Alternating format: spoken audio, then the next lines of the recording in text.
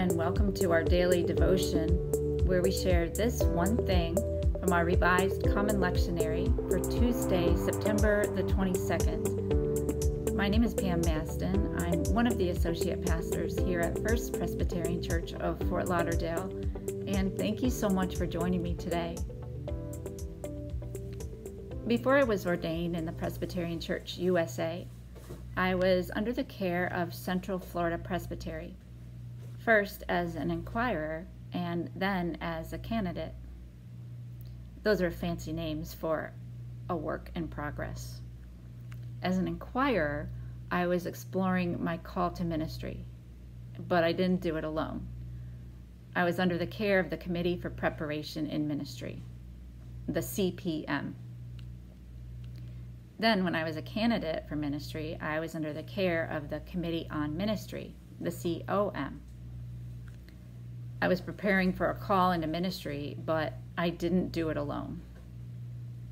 And when I look back, I realized how much I needed the people who served on these committees. As an inquirer, I needed the guidance, knowledge, and the affirmation that here's the next step Let's discern what this means for you. Let's listen for God together. And no matter what, it's all going to be okay.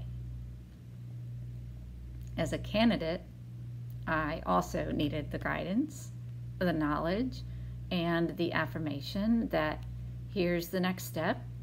This is what you need to know. This is what you need to do. Let's listen for God together, and it's all going to be okay. So the CPM and the COM were mentors for me. The people on the CPM and COM were elders in the churches within the presbytery, both ruling elders and teaching elders. Teaching elders are elders who have been ordained to the office of minister of word and sacrament. And what I remember the most about the process was that they invested in me there were a lot of steps that I didn't know about, and they were there to help me through the process. They explained the way of God in the church more adequately, other than just the steps on paper. It could have been very overwhelming without the guidance of some very kind hearted and gracious people who gave of their time, gifts, and talents in order to equip the next leaders in the church.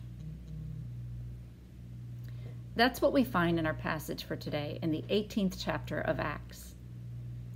In chapter 18, we find a description of the end of Paul's second missionary journey and the beginning of the third. After Paul stayed in Corinth for a while, he traveled with Aquila and Priscilla to Syria and then sailed to Ephesus, where he would leave Aquila and Priscilla. From there, he sailed down to Caesarea and finally returned to Antioch to report on how his trip went. Verse 23 tells us that after spending time in Antioch, Paul set out from there and traveled through Galatia and Phrygia again to encourage and strengthen all of the churches he had previously started. As Luke closes this chapter, we are introduced to Apollos, another important person here who is educated, he was familiar with the scriptures, and he was a great preacher. He came to Ephesus preaching and teaching, and guess what? He ran into Aquila and Priscilla, and now we are told that although Apollos was good at preaching and teaching and had knowledge of the scriptures, he only knew about the baptism of John the Baptist and the promise of Jesus' coming.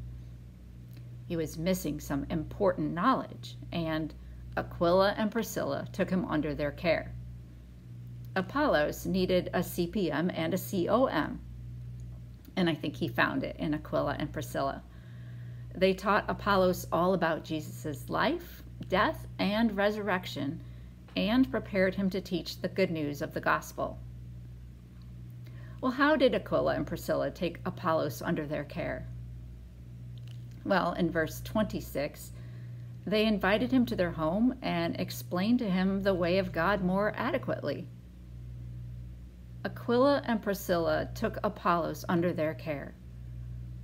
much like the CPM and the COM did for me. I could not be where I am today without them.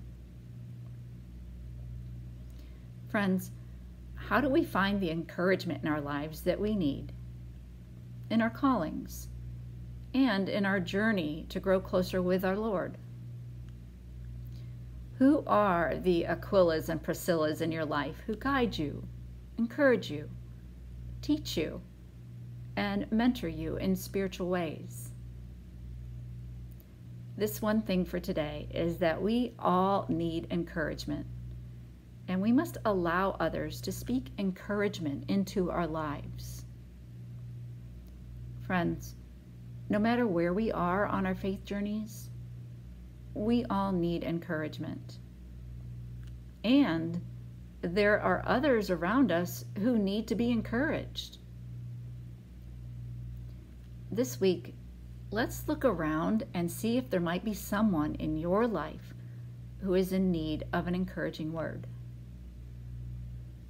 Who are the Apollos in our lives who need some encouragement?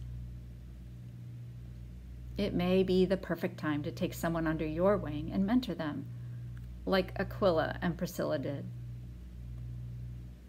And whether you need encouragement or it may be that you need to be the encourager, let's all use our words and actions for good. Remember, we're all in this together. Friends, thank you so much for joining me today. Stay healthy and we'll see you tomorrow.